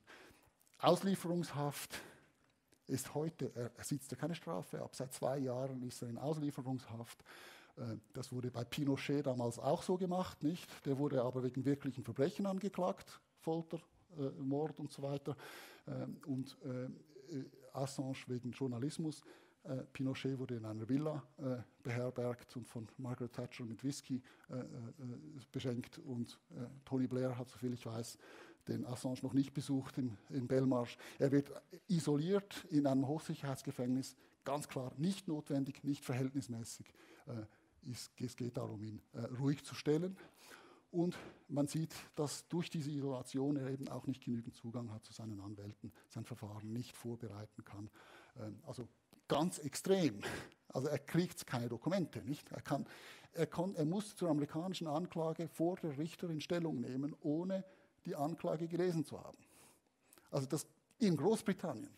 Das ist doch gar nicht möglich. Das ist, also mir kam das vor wie, wie Mickey Mouse. Also das ist doch, also ich wirklich nicht, es ist grotesk, wie ich gesagt habe am Anfang.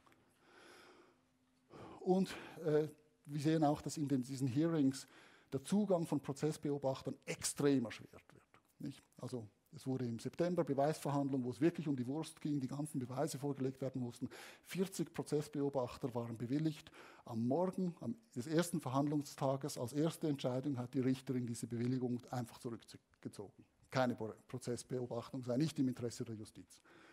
Und dann waren nur noch fünf Leute äh, im, im, Saal, die überhaupt noch berichten konnten. Nicht? Also das, das muss man sich, es ist schon, es ist extrem äh, ungewöhnlich, was hier geschieht. Neuester Stand, und hier, damit schließe ich danach jetzt ab.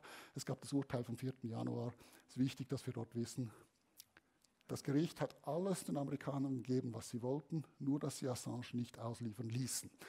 Das heißt, sie haben das ganze Narrativ bestätigt von die Anklage wegen Veröffentlichung von geheimen Dokumenten als Journalist dass es eben nicht unter die Pressefreiheit äh, fällt, dass das Spionage ist, dass das strafbar ist, ähm, auch in Großbritannien unter dem Official Secrets Act, dass es kein Political Offense ist, dass er ausgeliefert werden könnte, dass er nur aus gesundheitlichen Gründen nicht ausgeliefert wird, weil in den harschen Haftbedingungen in den USA wäre es sehr wahrscheinlich, dass er Selbstmord begehen würde. Sehr schlau, weil wer macht jetzt Berufung? Die Amerikaner. Hätte, man ihn ausgeliefert, hätte Assange Berufung gemacht und die ganzen Fragen von Pressefreiheit und so und politischen ähm, Delikten und so weiter an das High Court heraufgetragen. Wenn es die Amerikaner Berufung machen, dann kommt nur die Frage der Haftbedingungen zum Berufungsgericht und des Gesundheitszustandes von Assange. Die Haftbedingungen können die Amerikaner ja einfach garantieren machen. Ganz einfach. Sie haben 100% Kontrolle darüber, was die Haftbedingungen sein werden und können da, sich da einfach anpassen. Es geht also nur noch um den Gesundheitszustand von Assange und um die Haftbedingungen. Und das sehen wir eben jetzt in der Berufungsverhandlung äh, heute und gestern. Ging es nur noch um die Garantien der USA, sind die genügend, sind die nicht genügend. Dass er eigentlich gar nichts Strafbares gemacht hat, das wird gar nicht mehr diskutiert. Das ist natürlich ein Kunstgriff gewesen, dass man das so äh, strukturiert hat. Und möglicherweise, wenn das Berufungsgericht jetzt zum Schluss kommt, ja, die Garantien reichen nicht ganz, dann machen die Amerikaner natürlich noch Berufung zum Supreme Court und geben dann ein bisschen mehr Garantien. Nicht? Äh, und wenn die, das High Court sagt, ja, das reicht, das ist gut, dann macht wahrscheinlich der Assange nochmal Berufung. Aber es geht immer nur um diese Garantien. Und damit haben wir die ganzen großen Fragen des Elefanten im Raum wieder ausgeschlossen. Da ist es ganz wichtig, dass Sie Gegenberufung machen können äh, gegen dieses Urteil ähm, äh, danach. Wie es herauskommt, kann ich Ihnen so nicht sagen. Ich kann nur sagen, das Big Picture, das habe ich Ihnen gezeigt, worum es wirklich geht in diesem Fall. Und wenn wir das sehen, die Amerikaner, die Briten, die Schweden haben Assange nicht zehn Jahre lang unter Aufwand von Dutzenden von Millionen verfolgt und diffamiert, um ihn jetzt einfach freizulassen die werden irgendwas finden, damit ihre Agenda damit erfüllt wird. Ob das jetzt mit einem ewigen Prozess ist, der ihn in Großbritannien ins Irrenhaus bringt oder zum Selbstmord bringt, oder ob sie mit ihm einen Deal machen irgendwann, das weiß ich nicht. Aber die Abschreckung, Abschreckungswirkung ist sowieso gegeben. Nicht? Ich weiß nicht, wenn irgendjemand von Ihnen, wenn, wenn ich Ihnen jetzt einen USB-Stick gebe, hier haben Sie Collateral Murder Nummer zwei, ja, und die 250.000 Depeschen der USA können Sie gerne veröffentlichen. Ich weiß nicht, ob Sie das auf Ihrer Webseite machen würden, ob Sie jetzt noch Vertrauen hätten, dass die Pressefreiheit, die Meinungsäußerungsfreiheit hier geschützt ist. So, das war mein Ausblick. Das ist das Buch auf Deutsch. Das gibt es seit April. Dass, dass, die Details jetzt auch die ganzen Beweismittel äh, dann zitiert sind. Es kommt auf Englisch raus im Februar, auf Schwedisch nächste Woche. Und äh, ich danke Ihnen sehr für Ihre Geduld. Ich hoffe, es war keine unmenschliche Behandlung.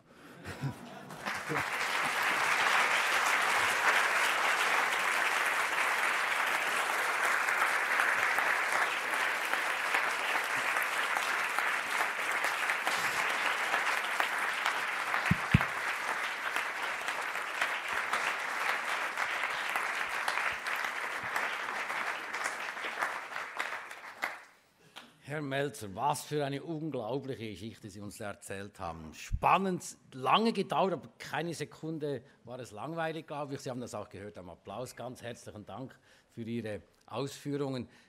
Wir bleiben trotzdem bei der Fragerunde, gell? das ist zu spannend. Ich frage nichts. Sie haben das Wort. Wem darf ich die erste Frage? Dem Herrn Staatsanwalt, bitte.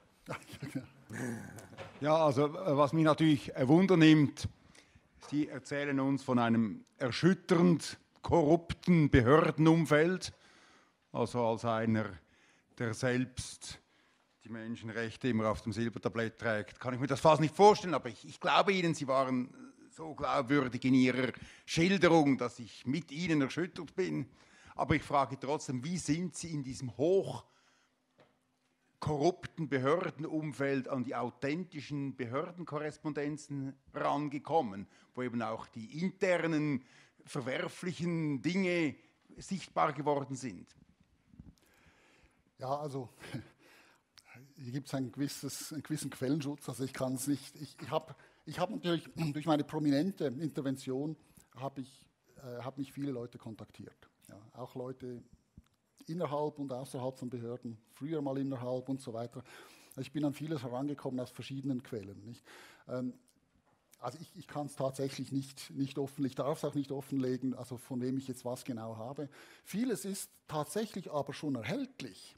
Es ging nur darum, dass man die ganzen ja, Connect the Dots. Ja? Und äh, ich denke, was eben auch wichtig ist, also ich selbst war wirklich erschüttert, weil ich habe wirklich an die Rechtsstaatlichkeit geglaubt. Ja? Und ich, ich glaube auch heute nicht, dass es hier um eine böse Verschwörung geht. Wirklich. Ich, sondern ich gehe mehr, ich, mehr davon aus, dass im Großen und Ganzen, natürlich sind, haben die USA jetzt Interesse da, ihr, ihr, ihre Geheimhaltung zu schützen. Aber ich, ich, bin überzeugt, dass die CIA denkt, ja, wir, wir wollen einfach unsere, die USA schützen, nicht gegen die Bösen. Und der stört uns dabei. Und dann kommt diese alltägliche Behördenkollusion die einfach mehr mit der menschlichen Natur zu tun hat. Ja, man schützt sich gegenseitig, man fällt sich nicht in den Rücken und so weiter. Und ähm, also die so Banality of Evil sozusagen, was Hannah Arendt gesagt hat. Nicht? Also es nicht die, die, böse Konspiration von irgendwelchen dunklen Mächten im Unterkeller, sondern es ist irgendwo das, eine Eskalation, die stattfindet mit 9-11 wo man den Geheimdiensten mehr Freiraum gegeben hat, weil man muss ja solche Angriffe verhindern. Das ist ja auch verständlich. Wir haben alle Angst. Also geben wir denen mehr Freiraum. Wir hatten Diskussionen erst kürzlich in der Schweiz mit dem PMT, nicht? Also, wo man ja wirklich rechtsstaatliche Fragen stellen kann. Aber die Motivation dahinter ist natürlich eine gute. Man möchte ja einfach mehr Werkzeuge haben, um Terrorismus bekämpfen zu können. Aber dass man damit, nicht wenn man ich sage immer, die Geheimdienste, die Polizei, das sind unsere Wachhunde. Und ich meine das nicht despektierlich. Ich meine, die, sind, die müssen ein bisschen scharf sein. Nicht? Also ich möchte auch nicht einen, Body, einen Bodyguard haben irgendwo, der dann alles nur mit seiner rosa Brille anschaut. Ja, der soll mehr Gefahr, Gefahren sehen als existieren. Der Hund soll auch mal den Postboten anbellen, nicht und nicht nur den Einbrecher. Aber mit dieser Einstellung müsst nicht der Wachhund gehört auch an die Leine, möchte ich sagen. Und die Rechtsstaatlichkeit ist eben diese Leine, die sicherstellt, dass, dass die Aufsicht gegeben ist. Und das, da haben wir gesündigt in den letzten 20 Jahren, dass wir den, den Wachhund von der Leine gelassen haben. Und das sieht man in diesem Fall eben schon. Und das eskaliert dann in, in, in diese Missbräuche hinein, die in diesem Fall relativ einfach aufdeckbar sind, weil sich die Behörden so sicher sind, dass sie auf der richtigen Seite sind, dass sie nicht in Frage gestellt werden, dass sie zum Teil auch unvorsichtig waren. Ja. Ich frage jetzt nicht, ob Sie schon Reisepläne nach USA haben, oder? Das, äh, nicht mehr. Wer hat weitere Frage? Bitte der Herr im roten Pullover hinten.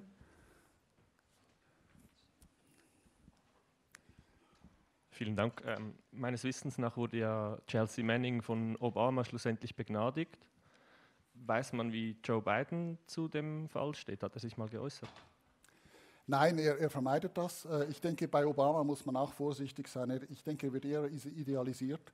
Obama wurde sehr stark kritisiert, weil unter keinem Präsidenten der USA wurden so viele Whistleblowers so hart verfolgt wie unter Obama. Ja, also er hat mehr Whistleblowers verurteilen lassen als alle amerikanischen Präsidenten vor ihm zusammen.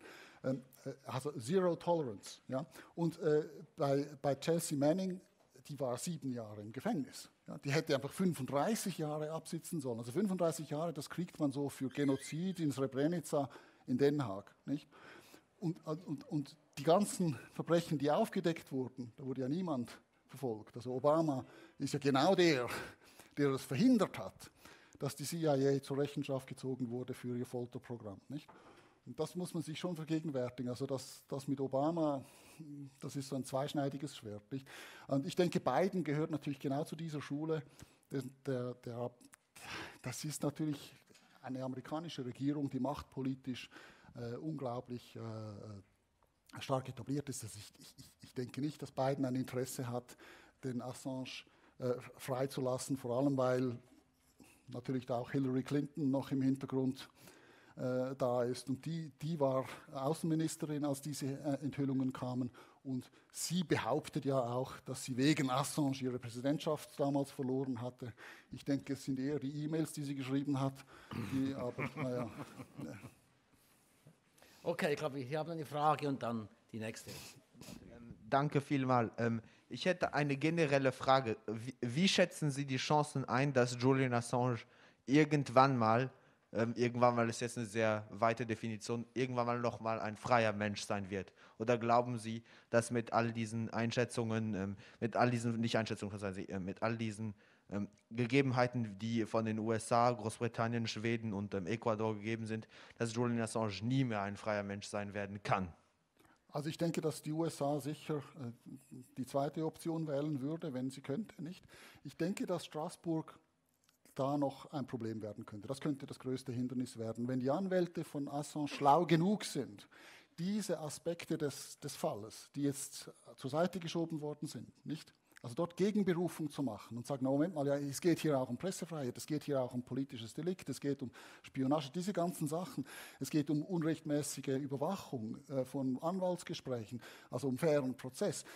Diese Dinge müssen wieder ans Licht gezogen werden. Das kostet viel Geld, das kostet vielleicht auch Zeit. Die Briten haben gesagt, ihr könnt schon Gegenberufung machen, aber nachher. Nicht? Das verlängert das Verfahren nochmal um zwei, drei Jahre. Und ich weiß nicht, ob er das so lange aushält in dieser Einzelhaft.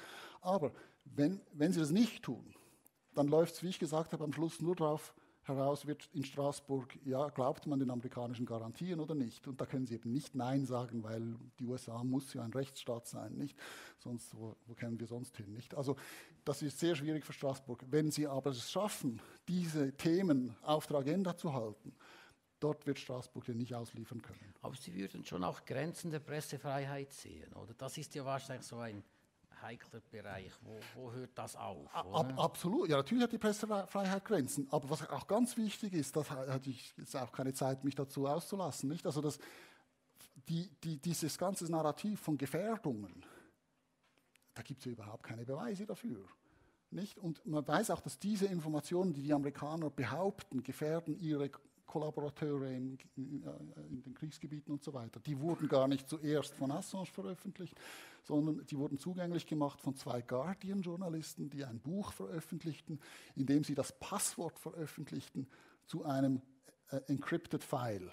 Und dadurch wurden diese ganzen Diplomatic Cables dann öffentlich zugänglich und erst nachher und das ist nachgewiesen worden, übrigens von einem Schweizer Computerspezialisten im Beweisverfahren. Der hat das objektiv wissenschaftlich aufgearbeitet und gesagt, das ist ganz eindeutig, es war nicht, äh, es war nicht äh, äh Assange, der das okay, Vielen Dank. Die nächste Frage, glaube ich, hier, der zweite Reihe. Zuerst vielen Dank. Das war extrem spannend und interessant. Ich glaube, den amerikanischen System, Rechtssystem relativ gut zu verstehen und auch die Gesellschaft. Ich staune, dass es keine Gegenstimme von Offiziellen, von, vom Volk, vom, äh, äh, es gibt in Amerika so viele äh, Organisationen, äh, die die Minderheit äh, verteidigen, ist es einfach, dass ich davon nicht gehört habe? Ist es, dass man die für einschüchtern wird?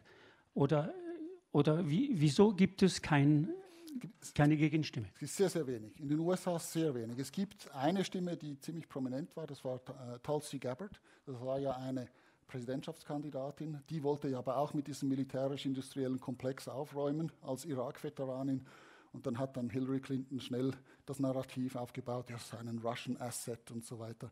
Und das, die wurde wirklich, wirklich kalt gestellt. Also ich denke, in den USA ist es noch relativ einfach, dieses Narrativ äh, dominiert noch sehr stark. Was wir auch gesehen haben, dass zum Beispiel Amnesty International hat sich geweigert, ähm, den Assange als Prisoner of Conscience zu qualifizieren, damals wegen den Vergewaltigungsvorwürfen. Nicht? Ja, das war, das war eindeutig. Das war deshalb damals, die Korrespondenz besteht. Und äh, jetzt haben sie Mühe darauf zurückzukommen. Es ist immer noch dieser unberührbare Assange. Nicht? Das ist etwas seltsam. Aber ich denke, was, es ist so in der Schieflage, gerade in den USA, ich habe dort auch mal gelebt, es ist schon möglich, dass wenn man zum Beispiel einen guten Hollywood-Film machen würde, der das mal auf der anderen Seite beleuchtet, dass es dann plötzlich einen Rutsch gibt. Aber in den USA ist das immer so ein bisschen eine emotionale Geschichte. Ja. Ich glaube, wir haben noch drei kurze Fragen mit halbwegs kurzen Antworten. Die eine ist dahin die Dame mit dem schwarzen Pullover. Sag jetzt mal, was immer. ähm, herzlichen Dank für den Vortrag. Äh, Sie haben vorher Straßburg erwähnt. London hat vor etwa zwei Wochen angekündigt, dass in der Zukunft der Supreme Court ähm, Straßburger Urteile korrigieren solle. Wie sehen Sie die Chancen, dass das eingeführt wird und was heißt das für das Auslieferungsverfahren von Julian Assange? Ja, das ist also sehr besorgniserregend überhaupt. Also ich meine, vom Brexit wollen wir jetzt nicht sprechen, nicht, aber ich denke, gerade was man sieht in Großbritannien in den letzten Jahren, ist sehr besorgniserregend. Also auch diese ganzen im letzten Jahr wurden ja zwei Legislativprojekte der Regierung eingeführt, den äh, Overseas Operations Act und den Spy Cops Law im Domestic äh, Field, wo man eigentlich schwere Verbrechen der Behörden dann nicht verfolgen wollte. Nicht? Also im, im, für Overseas Operations wurde es im letzten Moment noch korrigiert durch das Upper House. Aber wir sehen, also ich möchte damit sagen, dass dieser ganze Effort der Regierung, äh, Menschenrechte auszuhebeln, äh, Kriegsvölkerrecht auszuheben, also humanitäres Völkerrecht auszuhebeln, den, den ICC äh, zu neutralisieren äh, und jetzt natürlich eben auch den Human Rights Act. Es geht doch um ein Review, nicht? man, aber das ist natürlich sehr, sehr gefährlich. Also ich, ich denke, ich weiß natürlich nicht, worauf es wirklich hinausläuft letztlich, aber die Tendenz ist ganz klar da, dass sich Großbritannien abhängt und mehr jetzt den Amerikanern anhängt. Nicht? Also ja, das könnte schon bedeuten, dass dann natürlich Straßburg einfach ignoriert wird letztlich. Dann haben wir eine Frage hier, der Herr mit dem gestreiften Hemd. Dankeschön. Ja, Sie haben ja gesagt, dieses, dieser Scheinwerfer wurde vom, vom Thema, das er aufgedeckt hat, auf die Persönlichkeit geworfen. Einerseits denken Sie, Sie haben das wieder geschafft, die Themen an die Öffentlichkeit zu bringen. Oder andererseits wurden, werden Sie auch jetzt persönlich diffamiert, so wie es Julian Assange erging. Ja, es ist bei mir ein bisschen, also ich bin natürlich mandatiert, das zu tun, was ich also tue. Es ist ein bisschen schwierig, mir jetzt zu sagen, ich soll das nicht tun. Nicht? Also ähm, man versucht mich einfach zu ignorieren von offizieller Seite. Ich denke schon, dass das mit dem Buch ein bisschen unangenehm ist, weil es jetzt auf äh, diese verschiedenen Sprachen herauskommt. Das Schwedische wurde gerade von Svenska Dagbladet, das, äh, das ist eine der größten Zeitungen ähm, von Schweden, also die New York Times von Schweden, die hat das gerade rezensiert und sehr, sehr positiv beurteilt, gesagt, das sei ein Must-Read für alle Politiker. Also ich denke, wenn das wirklich so aufgenommen wird, dann kann das natürlich noch einiges auslösen. Die englische Version wird natürlich dann das Wichtigste sein. Ich denke, das war für mich das Instrument, das zu tun. Ich bin sicher, dass man mir jetzt den Vorwurf machen will, ja, das steht aber nicht im Verhaltenskodex, dass sie Bücher schreiben sollen und so. Nicht? Ähm, also das wird kommen, das ist klar. Und, äh, und ich, ich, ich, werde natürlich immer wieder angegriffen, ja, was, warum, warum, retten Sie nicht die Leute in Syrien, warum immer nur Assange nicht? Ja klar, es gibt immer noch 60 Millionen andere äh, Folteropfer, nicht? Und äh, gerade so Kriegskontexte ist natürlich das, das IKK die richtige Organisation und nicht ich. Ich, bin, ich habe von Anfang an gesagt, ich werde mein Mandat und die beschränkten Ressourcen, aber die große Unabhängigkeit und Sichtbarkeit meines Mandates dazu benutzen, den Scheinwerfer auf Themen und auf Fälle zu richten, die sonst niemand an, anfassen will, weil sie zu heikel sind. Ja, das kann ich mir leisten, man kann mir den Lohn nicht kürzen, weil ich habe keinen. Und, ja. Okay, wir kommen, wir kommen, warten Sie noch. Wir kommen noch zu einer letzten Frage, dem Herr hier mit dem offenen Hemd und der dunklen Maske. Ja, sie hat was drunter an, oder?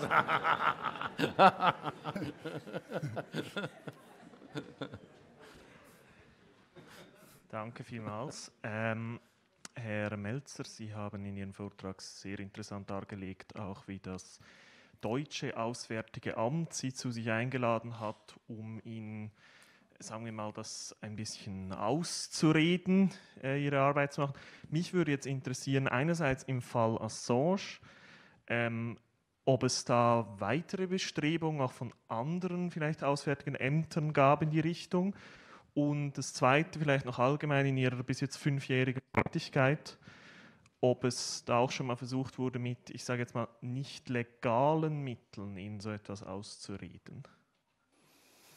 Nein, also, also konkret, also physisch bedroht hat man mich nicht, ja, bis jetzt. Aber äh, es wurde mir ganz klar zu verstehen gegeben, dass das für meine Karriere nicht gut ist, was ich da tue. Ja. Also äh, wenn ich in der UNO weiterkommen möchte, dann brauche ich natürlich zumindest die Toleranz der P5. Ja? Und das schließt natürlich die UK und die USA mit ein. Aber ich habe das auch aus viel heimischeren Gefilden zu hören bekommen. Ja? Äh, äh unter so vorgehaltener Hand, ja, also das sei vielleicht äh, ein Fehler gewesen, dass ich mich für den Assange einsetze. Nicht? Und, ich, und ich denke, ja gut, also ich meine, ich sage meinen Studenten immer, ja, klammert euch nicht an Funktionen und Titel, klammert euch an eure Integrität, weil wenn ihr die mal verloren habt, dann habt ihr eigentlich alles verloren. Nicht? Und wenn ihr eine Funktion verliert, aber die Integrität retten könnt, dann habt ihr alles, habt ihr eigentlich nichts verloren. Ja? Und, und das ist das, das, ist auch etwas, was ich hier versuche zu leben. Ich weiß jetzt natürlich nicht, was ich in einem Jahr nachher machen werde, aber äh, ich habe meine Karriere eigentlich nie geplant. Ich habe sie immer entdeckt so Schritt für Schritt und ich bin gespannt, was die Zukunft bringt. Ja. Sie hätten an sich Verbündete in China oder so, die vielleicht noch unterstützen bieten würden, aber das ist auch schwierig, oder? Die Schweiz hat sich da nie auch äh, ich, ich, ich, werde jetzt mal sagen, ich habe ein Interviewangebot bekommen von der staatlichen Nachrichtendienst, also Nachrichtenagentur, nicht Nachrichtendienst, Nachrichtenagentur Chinas. Das habe ich dann nicht gemacht. Gedacht, ja. Wobei eben, also Russian TV, das habe ich schon mal gemacht. Äh, äh und, äh, aber ich, ich, denke, das ist halt schon. Äh, Assange ist natürlich den Chinesen und den Russen genauso unangenehm. Jetzt ist gut, die wissen, die Amerikaner lassen den nicht gehen, da kann man ein bisschen sticheln und so.